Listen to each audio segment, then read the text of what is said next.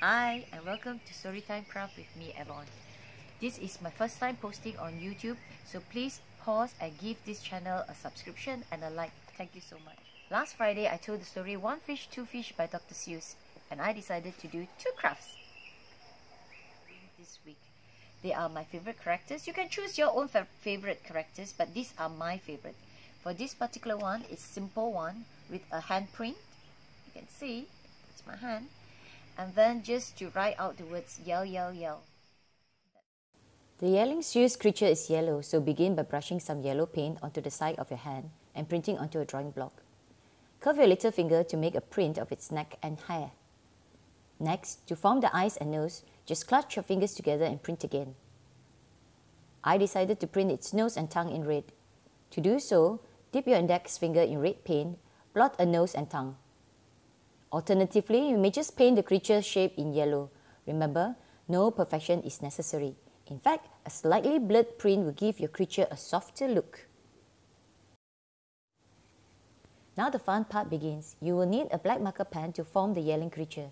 Begin with its facial features, from its shut eyes, bushy brows, nose, mouth, facial hair. Creativity is encouraged here, so add features as you wish. Tip. Use a pen to gently form the features if freehand drawing worries you. Next, move on to forming its hair. Use gentle wavy strokes to create movement. Begin lightly all over, from the tip of its head to its neck. Once the head looks formed, you should begin to draw its neck. Use tiny strokes to create fur-like effect for the outline of its neck. You will need to shade the neck area too, to give it dimension. Remember that you're creating a furry effect, so curve your strokes and keep them gentle. Begin in one direction, then cross to the other. Be gentle in your strokes.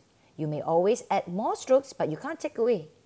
So start small and gentle. Keep adding strokes until you're satisfied with how your creature looks. Once your yelling creature is ready, add a background. Mine is red and I use simple bold strokes. Now you will need to add the chosen phrase, which is all he does is yell, yell, yell. Lightly pen the words down on four lines. I wanted to emphasize the yells, so here are the ways that I did so. Increasing the font size, using capital letter, draws attention to the words. Bolding them and finishing them off with shadow too so the words pop.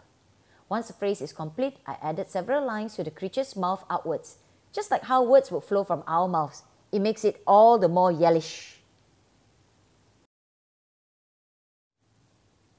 Ta-da-da-da! What do you think? Do you like your yelling creature? For this second one, it's my favorite this is my favorite. This is my favorite. Can you can you see why? It is so girly with lots of hair. I like I like this particular craft a lot. So it encourages children to search for words and they have to cut it out and stick it as well.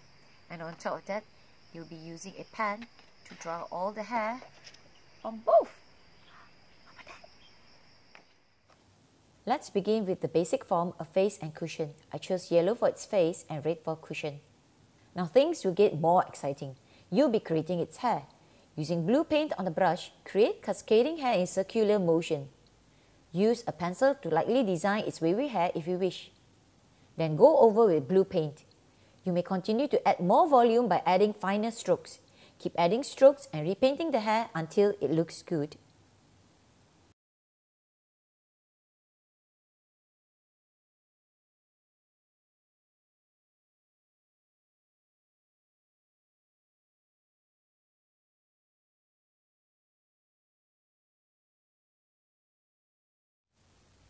Now you will add elements to complete the drawing. Use a black marker pen, draw the cushion chair, add a comb and bottle. You may shade to give dimension. Once done, you need to outline and define the blue hair. Similar to the furry yelling creature, use small curved strokes to create its hair. Follow the strands of hair, curving naturally. I also added a shadow to the right side to create greater definition. You may wish to do so too.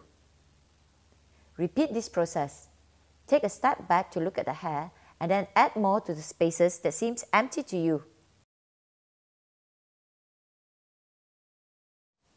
We will recreate its body now. To do this, simply crumple a piece of paper and glue onto the body section. The highlight of this project is a word search in magazines. Create an awareness for the different types of fonts, sizes, bold italic and shadow. Take your time to explore. Cut out the words brush and comb. Select different sizes and colors, then just simply glue them on.